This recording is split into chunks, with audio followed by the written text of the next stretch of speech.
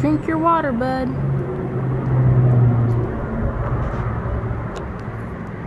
Grand Stanley's gonna come out here and tell you to drink your water.